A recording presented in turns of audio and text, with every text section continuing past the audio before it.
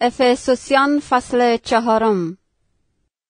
بنابراین من که به خاطر خداوند زندانی هستم از شما تقاضا می کنم زندگی شما شایسته مقامی باشد که به آن دعوت شده اید. همیشه فروتن ملایم و بردبار باشید و با محبت یکدیگر را تحمل کنید. برای حفظ آن وحدتی که روح القدس به وجود می آورد و با رشته های صلح و سلامتی به هم پیوسته می شود نهایت کوشش خود را بکنید. همانطور که یک بدن و یک روح القدس است خدا نیز در وقتی که شما را خواند یک امید به شما داده است و همچنین یک خداوند و یک ایمان و یک تعمید و یک خدا وجود دارد که پدر همه و مافوق همه بوده و در همه کار می کند و در همه ساکن است. اما به همه ما فردن فرد بر حسب سخاوت و بخشایش مسیح عطی خاصی داده شده است. به این جهت نوشته شده است. وقتی او با آسمان بالا رفت اسیران را به اسارت برد.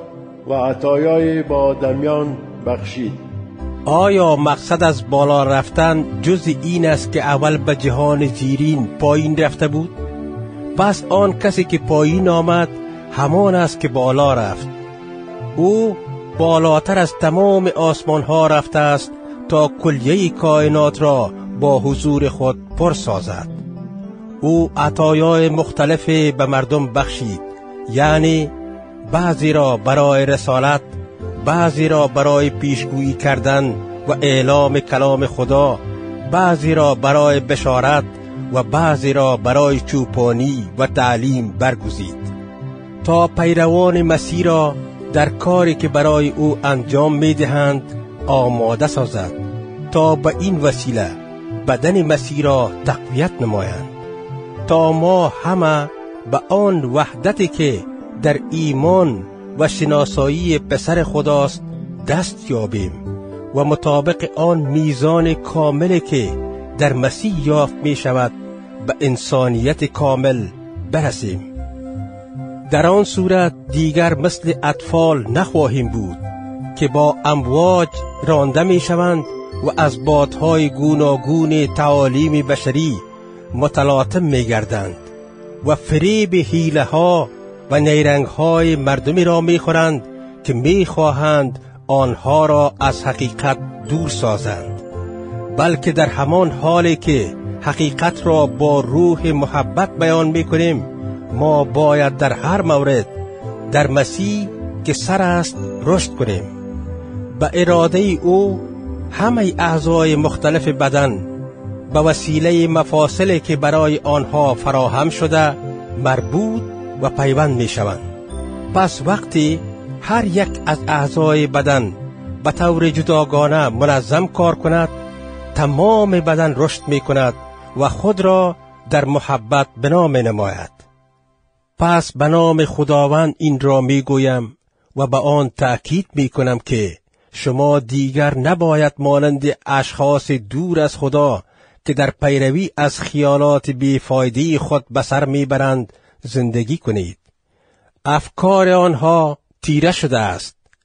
جهالتی که در بیان آنهاست و سختدلی آنان ایشان را از حیاتی که خدا می بخشد دور کرده است. عواطف خود را از دست داده و خود را تسلیم هوا و هوس کردند و برای برآوردن خواهش های پست خود از هیچ کاری صرف نظر نمی کنند. اینها چیزهایی نیست که شما از مسیح یاد گرفتید.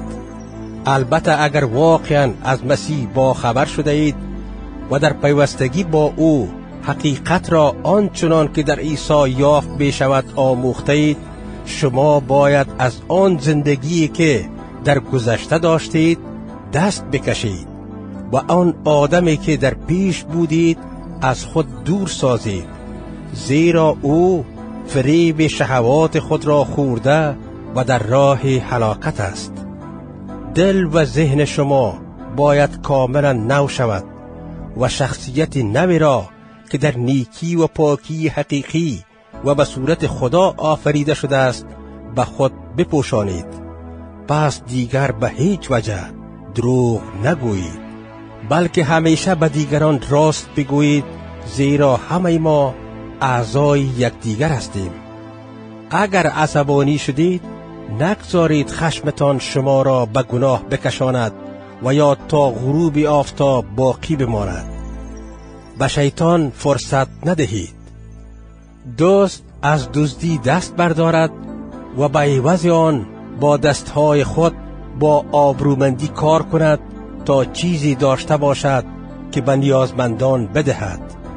یک کلمه زشت از دهانتان خارج نشود بلکه گفتار شما به موقع خوب و سودمند باشد تا در نتیجه آن به شنوندگان فیضی برسد. روح القدس خدا را نرنجانید زیرا او مهر مالکیت خدا بر شماست و زامن آمدن روزی است که در آن کاملا آزاد می شوید از این پس دیگر هیچ نوع بغض و غیظ و خشم و غال مغال و تهمت و نفرت را در میان خود راه ندهید. نسبت به یک دیگر مهربان و دلسوز باشید و چنان که خدا در شخص مسیح